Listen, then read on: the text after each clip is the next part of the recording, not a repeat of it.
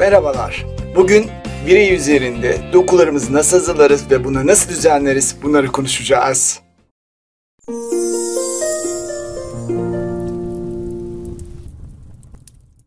Merhaba, ben Atalay Turan. 3 boyut üzerine paylaşımlar yaptığım kanala hoş geldiniz. Bugün parke dokumuza başlayacağız. Ve nasıl yapacağımızı isterseniz bir konuşalım. Evet, önce döşememi seçiyorum. Sahnemde döşememi seçtim. Sonra buradan Material Editor kısmına giriyorum, materyal editörüme. Uzun bastığımda Farm'in sol klik, buradan geçiş yapabiliyorum. Evet, slotlarımı görüyorsunuz. Slotları şöyle sağ klik yaptığınızda right click 5x3 6x4 diyerek slot sayınızdaki ön izleme sayısını daha fazla görüntüleyebilirsin. Ben şu anlık 3x2 ile devam ediyorum. İlk slotumla başlıyorum. Ve şu anda slotta biri aktif değil. Bakın burada standard yazıyor. Biri inaktif olmadığını bana söylüyor. Şimdi döşemem seçiliyken ve slotum seçiliyken ben bileğimi aktif ediyorum. Şurada kısa yolunu hemen göreceksiniz. Şöyle biraz kenara çekersek. Şurada Vray MTL. Bir kere aktif ediyorum. Evet tıkladığımda burada bazı basic parameters, bazı temel parametreleri görmeye başlayacaksın. Evet burada material kısmına ismimizi verebiliriz. Evet. Buraya parke diye isim veriyorum. Her zaman title kısımlarına, başlık kısımlarına özellikle kalabalık sahneler çalışmayı planlıyorsanız isim vererek çalışmak alışkanlık olsun. Sonra diffuse kanalına giriyorum. Yani bir malzemeyi bir yüzey üzerinde dağıtmak, yaymak istiyorsanız diffuse kanalını kullanabilirsin. Evet, burayla başlıyorum. Diyor ki istersen bir renk at, istersen bir texture, bir doku at. Ben doku atarak başlayacağım. Evet, elimdeki dokularla başlıyorum. Burada şurada flör, döşeme için bir ahşap dokusu alıyorum. Slotum geldi. Bu materyali sahnede görmek istersem Show Shaded malzemeyi renkli olarak göster diyebilirim. Ve ma- malzemem geldi. Eğer gelmezse ekstra olarak Assign Material to Selection seçili olana materyalini ata diyebilirsin. Malzeme gizlemek istersen de Show Shaded Material diyebilirsin. Evet, malzememiz bu şekilde açtık kapattık. Fakat materyal atarken şuna dikkat edin. Bakın ben burada bazı hataları size daha rahat vurgulayabilmek için yapıyorum. Siz kendi projenizde bunları yapmayın tabii ki. Bakın dokular seamless bir doku değil. Yani sürekli bir doku değil. O yüzden geçiş yerleri belli oluyor. Bu da renderda gerçekliğinizi biraz zarar verebilir.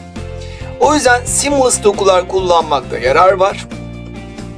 Aksi takdirde geçiş yerleri belli olacağı için e, görselde sunum açısından zayıflık gösterecektir. O yüzden bu tür negatif etkilerden uzak durabilmek için profesyonel görseller tarafından hazırlanmış, fotoğrafçılar tarafından hazırlanmış görselleri kullanmaya özen gösteriyoruz. O yüzden buna biraz dikkat edin. Ben burada koyu bir texture kullandım. Bunun temel nedeni bir kontrast yaratmak aslında. Duvarları açık tonlu yapacağım. Beyaz ve tonları tarzında. Zeminde bu yüzden koyu yapacağım. Kontrast yaratmayı planlıyorum. Hani hem zemin koyu hem duvar koyu veya hem duvar açık hem zemin açık bu tarzda değil de olabildiğince kontrast yaratmak istiyorum sahnemde çalışırken. O yüzden koyu bir doku kullandım. Siz tabii ki e, estetik zevkinize göre öğrendikten sonra farklı dokular da kullanabilirsiniz. Evet dokumu attım. Yalnız şu anda slotu ön izlemesini görüyorum ama biraz daha net görmek istiyorum. İki kere tıklıyorum slota iki kere tıklıyorum ve köşesinden çekiştirerek materyalimi daha da büyük görüntüleyebilirim. Gördüğünüz gibi. Evet. Sonra malzeme ile ilgili herhangi bir ilişkin varsa bir yansıma olur, bir kabartma olur. Herhangi bir ilişkiyi görmek istiyorsam şurada background, arka planı göster derseniz malzemede herhangi bir yansıma falan varsa veya bir transparanlık falan varsa arka plan sayesinde bu ilişki render öncesi daha rahat görebilirim. Evet, şu anda kapatıyorum. Sonra malzememe biraz yansıma katacağım. Bakın şurada reflection var, yansıma kanalı. Yansıma kanalında şu anda siyah bir renk görüyorsunuz. Burada bunları renk olarak düşünmeyin. Siyah burada yansıma yapmaz anlamına geliyor. Tıklıyorum. Ve burada value değerini soruyor. Ne kadarlık bir yansıma istiyorsun diyor. Mesela ben buraya 139 diyorum. Tabi buradaki sayısal değerleri ezberle, ezberlemenize hiç gerek yok. Birebir aynı değerleri girmenize hiç gerek yok. Tamamen fikir versin diye ben farklı değerler gireceğim. Hani her malzemenin yansıma şiddeti aynı olmasın diye. OK deyip onaylıyorum. Bakın ön izleme tıkladığımda yansımaları görmeye başladınız bile. Bakın. Yalnız şu anda e, böyle yeni vernik dökülmüş gibi duruyor. Fazla bir yansıma. Bu yansımanın abartılığından biraz kurtulmak istiyorum.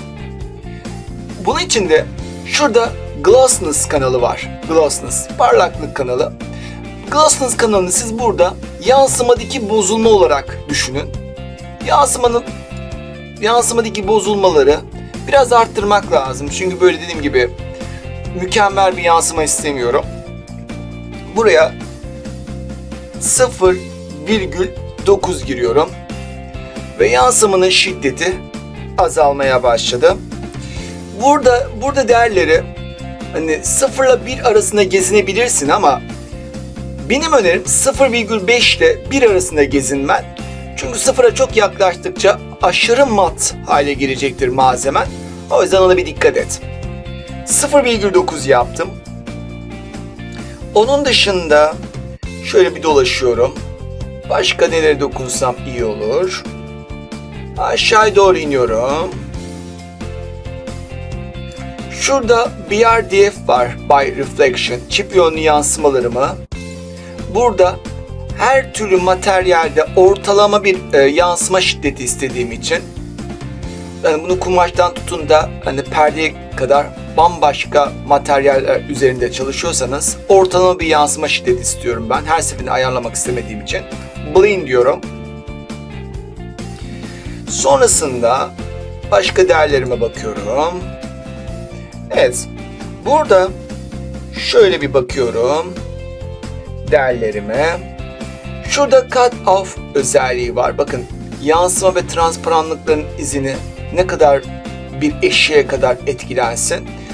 Ben buraya bir sıfır azaltıyorum. Tabi burayı tamamen sıfır yapmayın.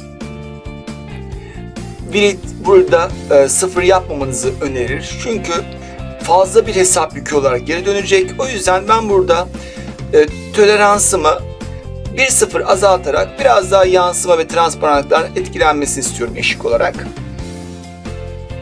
Burada cut off veya tree short gibi isimlerle bu tür menüleri görebilirsin. Evet bu kısımları ayarladım. Bakalım. Başka dokunmak istediğim bir yer var mı? Evet şu anlık yok. Evet parke dokumu bu şekilde hazırladım. Eğer dokumu değiştirmek istersem sonradan değiştirebilirim. Evet. Bu şekilde parke dokumuzu hazırladık. Tabii ki yansımaları şu anda sahnede görmüyorsunuz. Bu yansımaları daha çok kamera ve ışık karşısında göreceksin. Daha iyi bir sonuç alabilmek için. Evet, diğer derslerde de zaten bunları konuşacağız. Evet, bir sonraki derste görüşmek üzere. Hoşçakalın.